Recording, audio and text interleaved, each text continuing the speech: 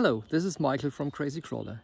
Today I'm at Indie Place. Uh, it's my favorite location for testing foams and by the way it was uh, the place where laser foams were born and um, today I'm out there to test uh, the 4.19 FT Pro starter set on Proline Hyrax and for this occasion I found an offer at a discounter and it was a Mercedes-Benz pickup crawler. Let's take a look at this. Yes. Uh, for 99 euro, that's about 105 bucks. Let's see what I've changed at this setup to optimize performance and stability.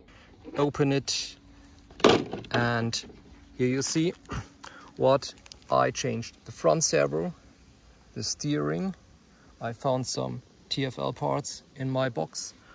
I changed the transmitter for my DX4S Spektrum, uh, the ESC with a 1080 and the motor is now a Tekin 30 hand wounded and I run it with a Gens Ace 3S.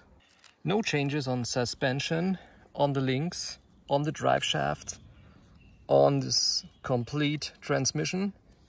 But the most important thing if you want to have more performance is to optimize your tires. And I received from Trail Hobby wonderful 1.9 wheels.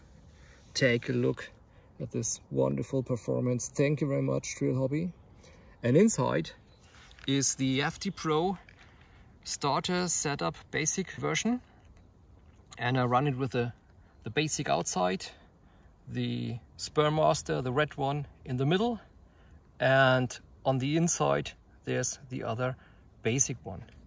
The car complete as it is here, including the Gens Ace has got 5.5 pounds and so it's a very light one and I choose this light one to test my 4.19 Hyrax.